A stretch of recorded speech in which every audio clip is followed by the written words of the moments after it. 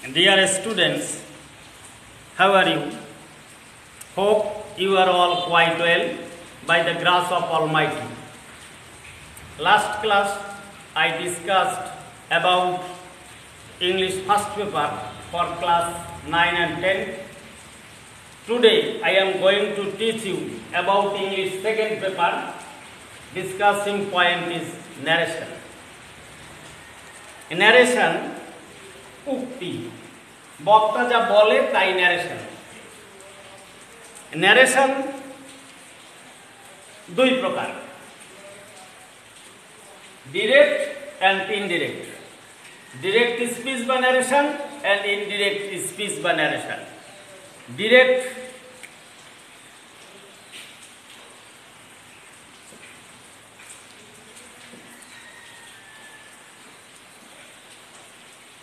Direct speech মানে প্রত্যক্ষ উক্তি।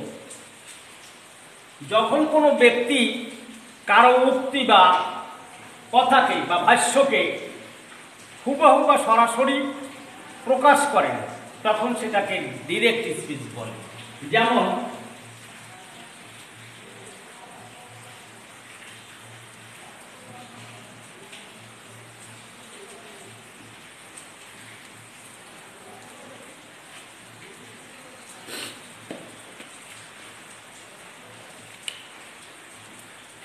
direct speech he said to miss আমাকে বলল আই এম ওয়েল আমি ভালো আছি।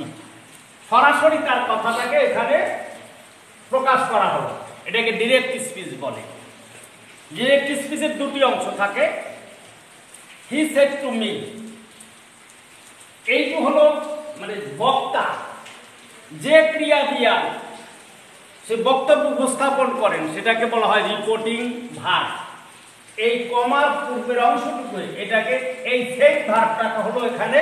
সেট ভারটা হলো রিপোর্টিং ভার আর ইনভার্টেড কমার মধ্যে এই অংশটুকে বলা হয় রিপোর্টেড স্পিচ ইনডাইরেক্ট স্পিচ দুই নম্বরে। ইনডিরেক্ট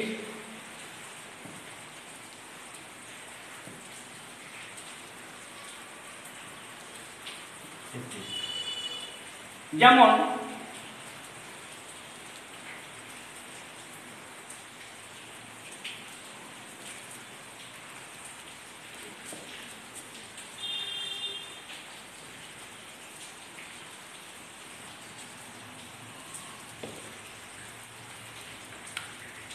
ইংলিশ স্পিচে ইনভার্টেড কমা থাকে না। এটাকে যখন কোনো ব্যক্তি তার নিজের মতো করে অন্যের ভাষ্যকে উপস্থাপন করেন বা বলেন, তখন সেটাকে ইনডিরেক্ট। এটাকে বক্তার উক্তিটাকে সরাসরি বলা হলো, আর এটাকে সেই ইনডিরেক্ট স্পিচে বক্তার উক্তিকে তার নিজের মতন করে বলো এটাকে ইনডিরেক্ট স্পিচ। আমরা আজকে আলোচনা করব যে ডিরেক্ট স্পিচ থেকে কি করে আমরা ইনডিরেক্ট স্পিচে রূপান্তরিত করতে পারি?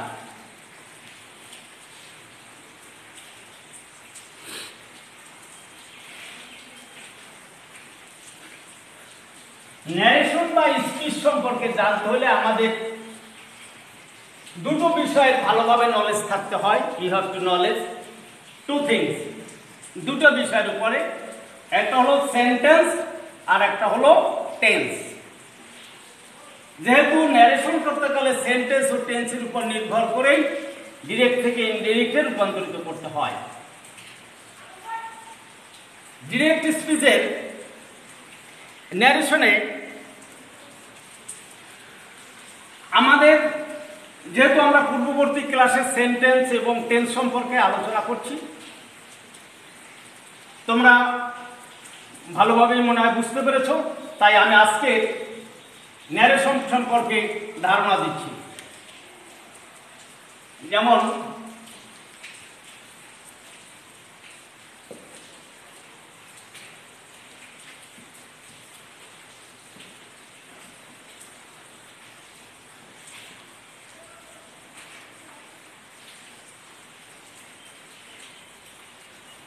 I shall help.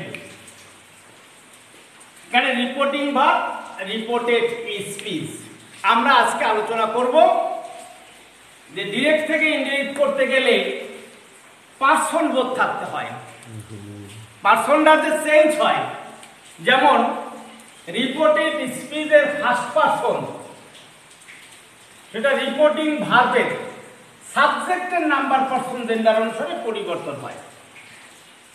Second person অবজেক্টের নাম্বার পার্সন জেন্ডার অনুসারে পরিবর্তন হয়।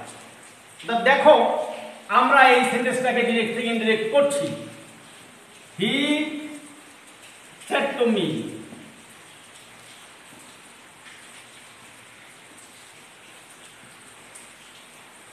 এই যে ফার্স্ট পার্সন আই পরিবর্তন হবে রিপোর্টিং ভার্বের সাবজেক্টে আছে হি অর্থাৎ এখানেও পরিবর্তন হয়ে থার্ড পার্সন হইবে অর্থাৎ আই এটাও singular number he singular number অর্থাৎ এবং এটাও মেসকুলিন জেন্ডার এখানে মেসকুলিন জেন্ডার অর্থাৎ হি চেঞ্জ হয়ে এখানে আই চেঞ্জ হয়ে হলো হি আর এই যে শ্যালের জায়গায় আমরা উড করছি, এটা আমরা গ্রামাটিক্যালি এটার পরিবর্তন সম্পর্কে আমরা পরে আলোচনা করছি। যেহেতু আমি আজকে তোমাদের শুধুমাত্র পার্সন বোধ পার্সন চেঞ্জের যে বিষয়টা, সেটা আলোচনা করতে চাই।